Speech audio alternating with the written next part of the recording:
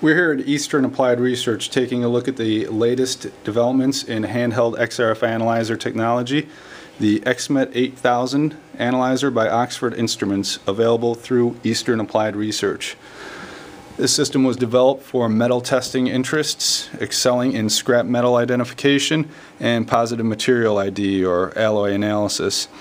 The unit carries over a number of benefits from the previous model, the 7000 series, including the largest interface with touchscreen operation, fastest startup time, and the longest battery life at 10 to 12 hours.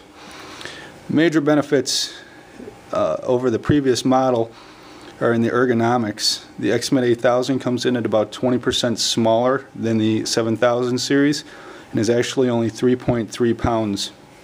Very light, easy to move around all this, but it maintains its rugged capabilities, uh, meeting an IP54 rating for water and dust protection, and also comes now with an op optional detector shield to prevent from accidental detector punctures.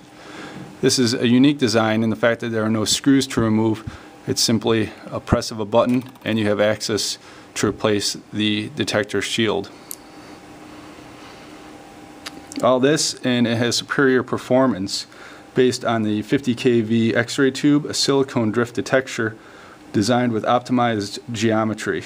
This results in lower detection limits on light elements and better separation of alloys. Take a quick reading here.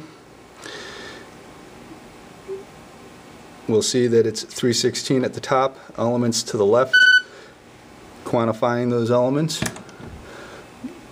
another quick measurement. This one comes in as a 410 with the elements listed and the percentages seen. Additional benefits are seen in the intuitive software, which is very easy to learn and operate, and the data management. Uh, it offers element, uh, element sorting, highlighting of elements, a customized results screen, and all of this can be pulled quickly and easily to report uh, through uh, software-free design.